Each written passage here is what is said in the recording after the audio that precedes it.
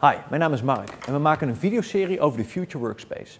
En vandaag gaan we het hebben over tools en software die je daarbij kunt gebruiken.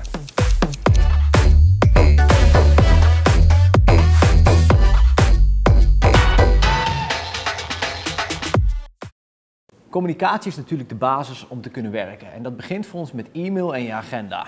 Daarvoor gebruiken wij G Suite. Dat is de suite van Google waarin documenten, agenda en e-mail bij elkaar komen. Kunt privacybezwaren hebben tegen G Suite, maar er zijn weinig tools waar samenwerken zo makkelijk is en waarbij zoveel apps beschikbaar zijn om dat samenwerken te bevorderen. Voor contact met onze klanten gebruiken we een eigen ontwikkeld pakket wat Lily heet. Lily maakt het makkelijk om elkaars inboxen in te zien en om workflows te koppelen aan die inboxen. Bijvoorbeeld voor een nieuwe klant of voor een bestaande klant. En daarmee kunnen wij als team ontzettend goed voor onze klanten zorgen.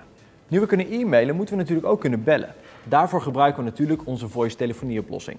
Dat kan met een app op de smartphone, maar dat kan ook met een webapp voor de computer. Hiermee kunnen we overal bellen en gebeld worden door onze klanten. En Lily integreert heel mooi met onze telefonieoplossing. En hier stoppen we een beetje met het wij van WC eendgehalte. Nu we eenvoudig met onze klanten kunnen communiceren, gaan er offerteaanvragen binnenkomen. Maak het jezelf eenvoudig en gebruik het boekhoudpakket Moneybird. Met Moneybird schrijf je niet alleen eenvoudig een offerte, je kunt er ook heel eenvoudig je facturatie mee doen. Je kunt zelfs je bank koppelen en daarmee is het doen van de administratie een fluitje van een cent.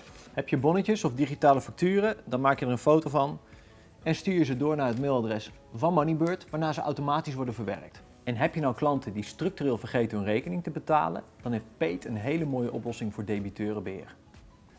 Nou zijn mensen niet heel geschikt voor het onthouden van deadlines en to-do's. En daar is Asana een mooie tool voor.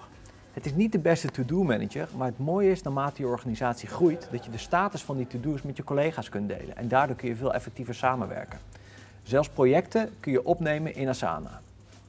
Het delen van die projectvoortgang is helemaal ideaal voor de remote werker. Die kan namelijk gewoon verder zonder vragen te stellen aan zijn collega's en kan dus onafhankelijk van de tijdzone gewoon lekker aan de slag. Dat brengt ons bij het samenwerken met collega's en externen. Daarvoor is videoconferencing een hele mooie oplossing. Nou zijn er voor videoconferencing hele mooie tools beschikbaar, maar vaak zijn die duur en moet je er spullen voor installeren.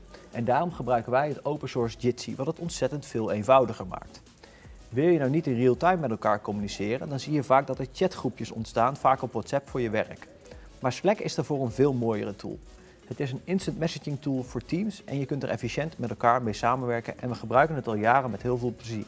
Samenwerken betekent ook dat je in dezelfde systemen moet kunnen en dat wil je natuurlijk wel op een veilige manier doen. En daarvoor gebruik je een zakelijke password manager. Het is niet alle wachtwoorden in een gezamenlijke spreadsheet. Je gebruikt ook geen standaard wachtwoord voor de hele organisatie en je deelt ze zelfs niet via Slack. Een goede password manager voor zakelijk gebruik is OnePassword. Tot slot hebben we nog een aantal tips om veilig remote te kunnen werken. Ben je op een publieke locatie, gebruik dan een hotspot van je mobiele telefoon om verbinding te maken met het internet. Heb je die optie niet, maak dan vooral gebruik van een VPN. Daarmee blijven je bedrijfsgegevens veilig. Een goede VPN-oplossing is van NordVPN, maar er zijn heel veel oplossingen voor. Daniel Verlaan testte er meer dan 100, waaronder NordVPN die ik zelf op dit moment gebruik. Hij heeft overigens een prachtige website gemaakt met veel meer tips over beveiliging en die vind je op blaadje-niet-hackmaken.nl. Ik hoop dat je wat hebt gehad aan deze tips en ik wens je heel veel remote werkplek plezier.